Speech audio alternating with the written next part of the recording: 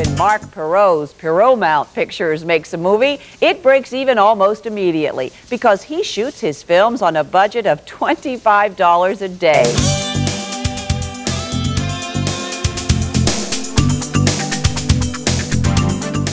It's Death Row Game Show, where contestants are convicts, where the commercials are controversial. Try the new Electro Zappy Fence.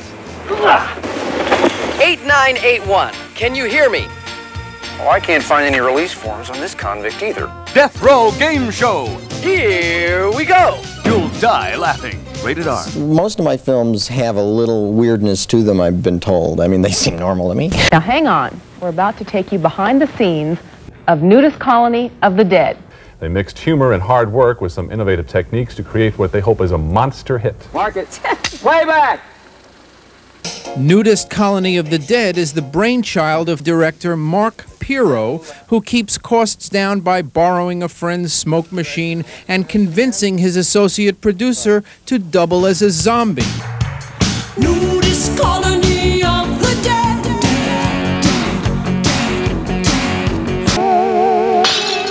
A Polish Vampire in Burbank, a comedy in the horror genre. That was the first project I really did, and it was my first feature film. Uh, we made it for $2,500. It ended up Wow. buying me my condo. I mean, nobody expected that movie to do anything. We made it as a showcase. But Polish Vampire has become a trendsetter. According to some estimates, the film has grossed up to half a million dollars. We sold it. You got it on the U- uh, USA Television Network, got it sold on video. And I was like, well, gee, that was easy. If you've got money this week, you film. If you don't have money this week, you call up everybody and say, okay, we're going to be taking a break for another week and we'll shoot next week.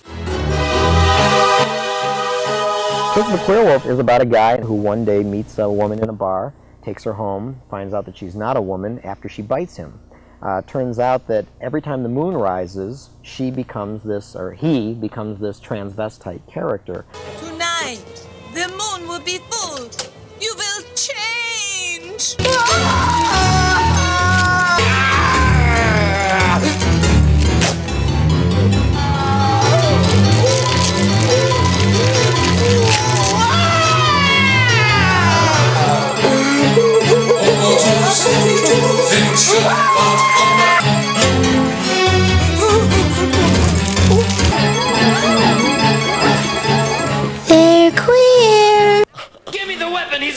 He's a queer wolf. You're not playing against the big boys. These are movies that will never play theatrically.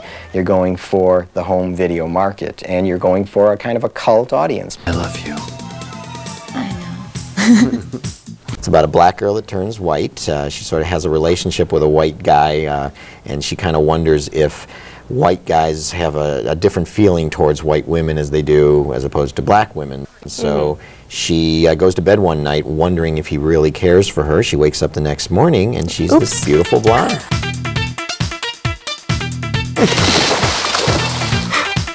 It's me, Tess. I'm Melanie. What kind of crazy shit is this? I'm just as baffled as you are. I went out to dinner last night with Dave. I didn't feel well. I came home and went to bed, and I woke up this morning and I'm Heather Locklear.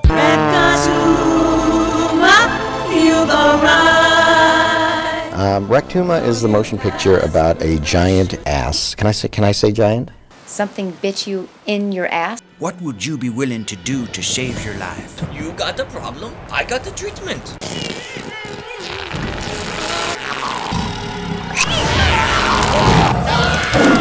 It will grow larger. Talking Oprah large or Sally Struthers large? Through modern science and bad nuclear accidents, this thing grows and grows to gargantuan proportions until a final confrontation takes place downtown in City Hall.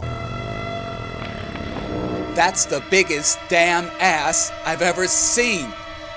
Hey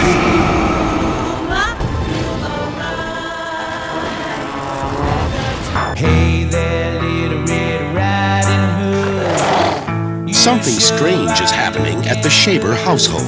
You look like Grizzly Adams. If this is some kind of identity crisis, Look at me. A singing whirlwind. And I need a wife. I suppose we're gonna live in a warehouse. Susan Blakely, John Saxon, in a howling new comedy. That animal is your wife? Well, you have to get to know her. I'm gonna find the sweetest, purest girl out there and make her all mine. I'm practically 15. How much longer am I going to be desirable? I can do things to you, Mary. Amazing things. I can't be pregnant. If these was primitive times, we'd have you stoned. Why weren't you using protection? Wait a second. These is primitive times. Nurse, give me some rocks, you whore. This man is responsible for breaking up my home. I did not have sexual relations with that woman.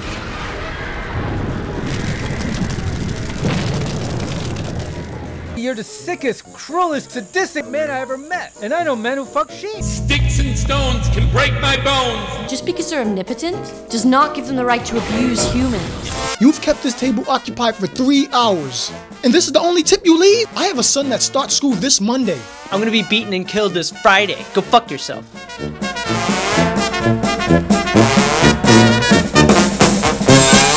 Thank you.